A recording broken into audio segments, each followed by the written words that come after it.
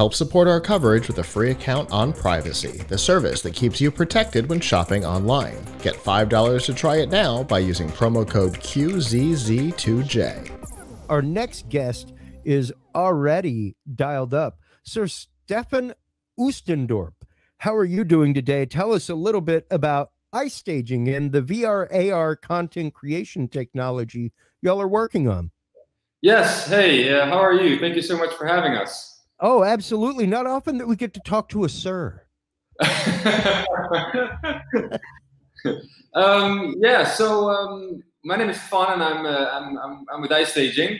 I'm the business development manager of iStaging. And uh, like you said, we are an augmented and virtual reality company, but mainly we enable people to um, uh, create, build, uh, um, host, and ultimately share virtual experiences uh, really quickly and really easily. And uh, so you can imagine if you are trying to actually do a virtual exhibition, if yeah. you in a, if you have a retail store that you want to put online and uh, uh enable people to, to visualize and visit, if you are a, a, a realtor uh, um, and you want to sell a property, um, if you're a university and you want to host a virtual open day, all of that stuff is possible with, with our platform.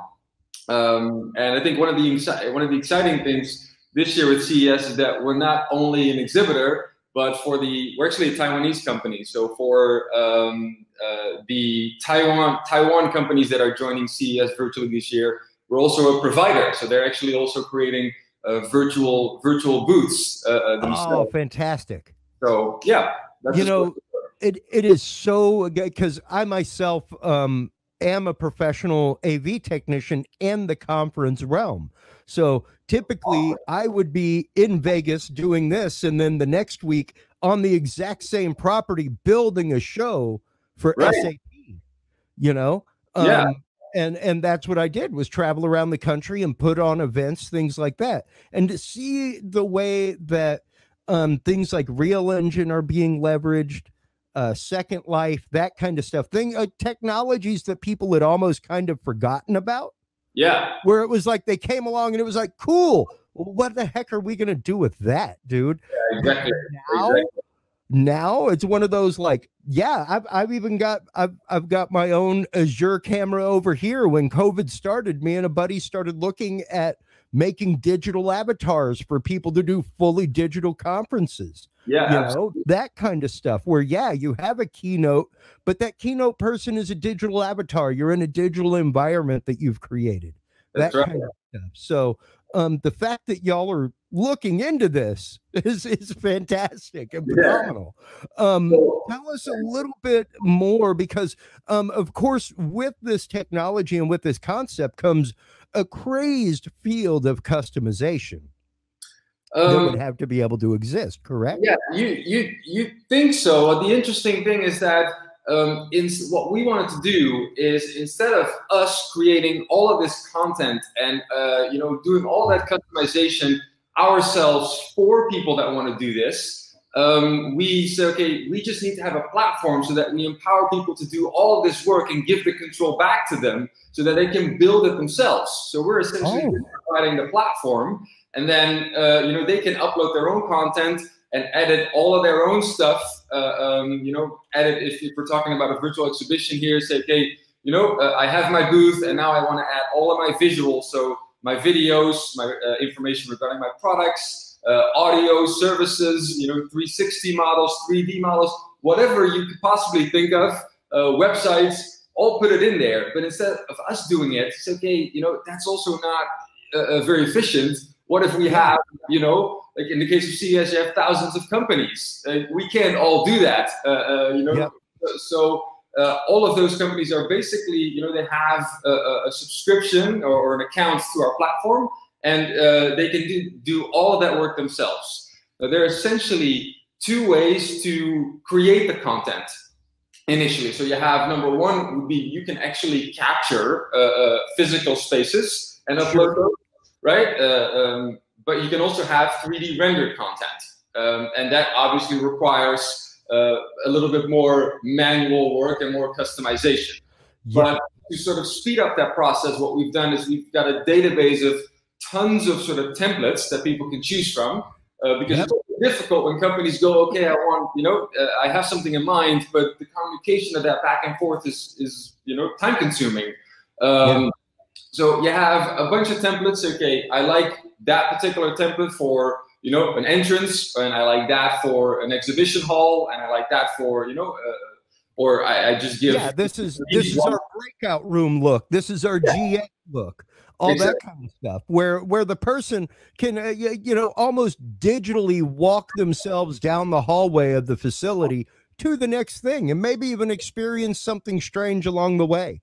You yes. know, at that point, at that point, that's where some customization comes in, and you can have Easter eggs, you can have you can have treasure hunts exactly. in the middle of it to get people in. You know, the same way that they do, like, hey, use your phone, scan the QR code. If you get twenty five QR codes first, you win this door prize. Exactly. You, know?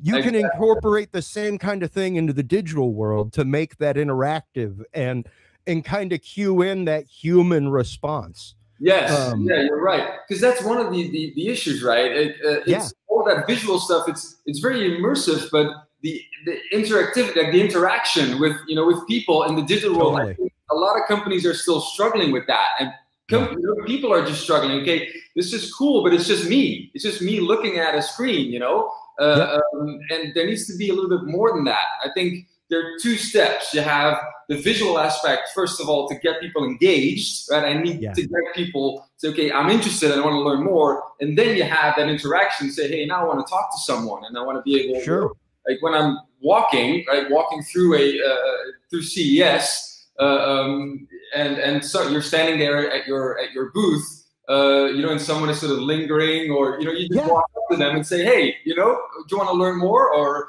uh, and you know, we are trying to sort of replicate a similar experience online. Now, well, and it's interesting because more than once over the last two days, I have used the phrase "if you could not get more CES than this CES." Right. Yes. Exactly. You could not. The fact yeah. that everybody now has to equally leverage technology to make CES happen. It's yeah. not just a booth fee. It's not just a passport. It's not just an airline ticket and yes. a hotel stay.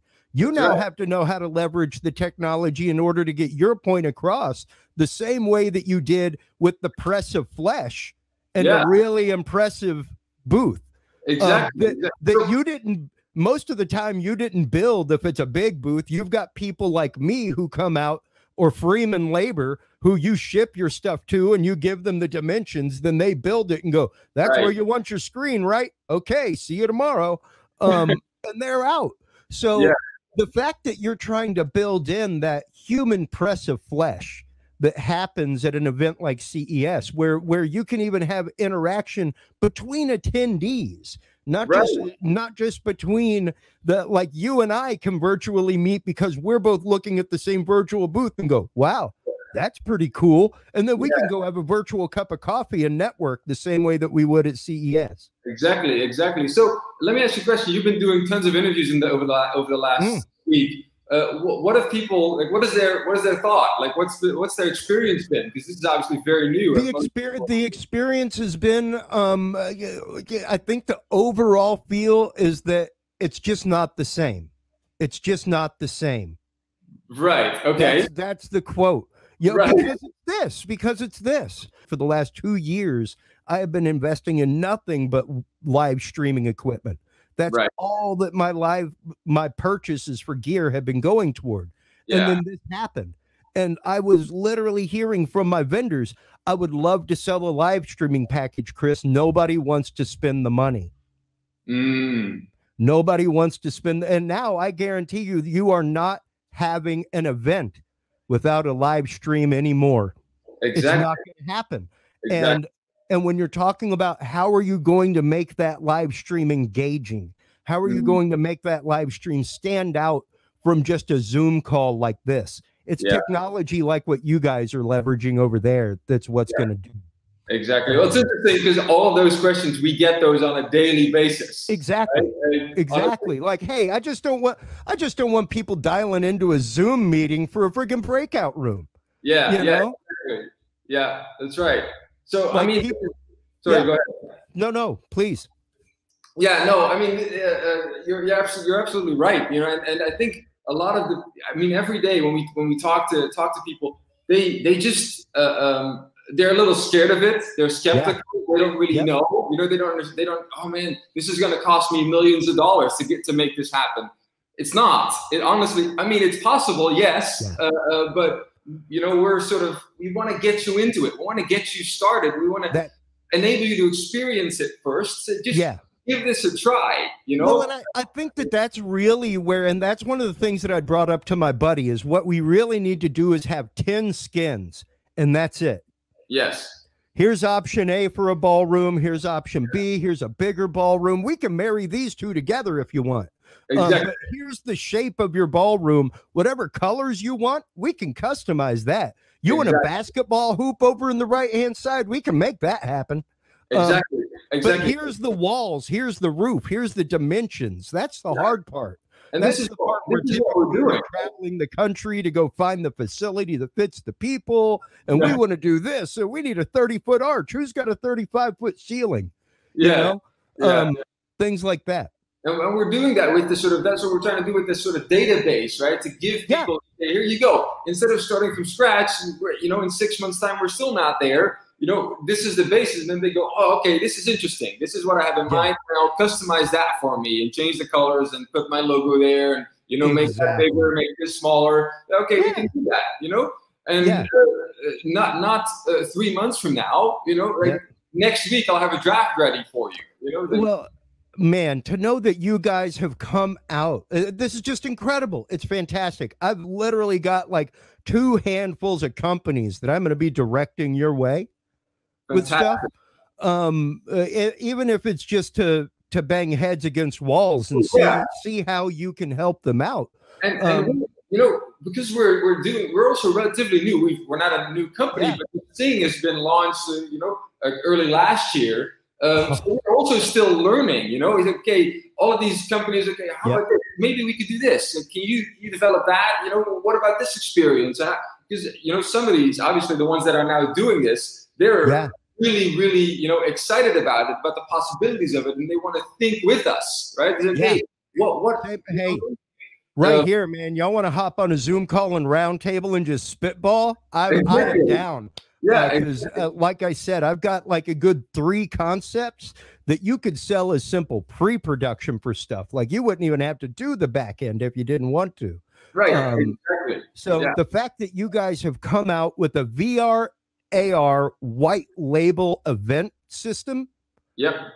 Is amazing. That's like yeah. being able to go to somebody that's got a white label website builder and go, here's your five templates. Choose which one you want. Plug yeah. and play your plug and play your data. You know, what do you want for a header? Here's yeah. your image, you know. So that's absolutely phenomenal, man. iStaging is the company. Uh, Stefan, thank you so much for coming on. I am yeah. so excited about this. I'm thank jazzed.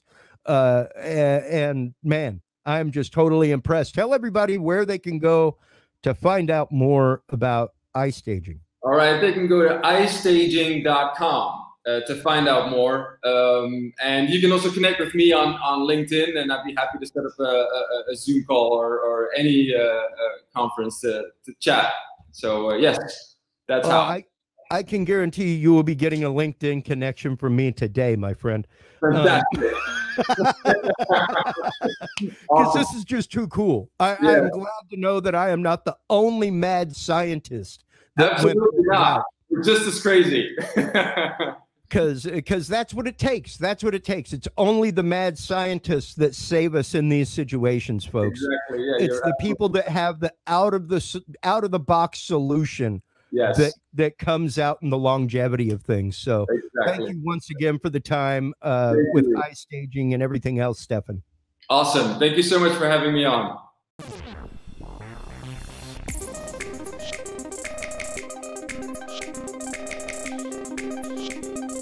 I hope you enjoyed that interview, and if you did, make sure you check out some of the more than 100 interviews we conducted during the virtual CES 2021 coverage. And of course, subscribe here on YouTube, hit the notification bell to learn when we post new content and when we go live.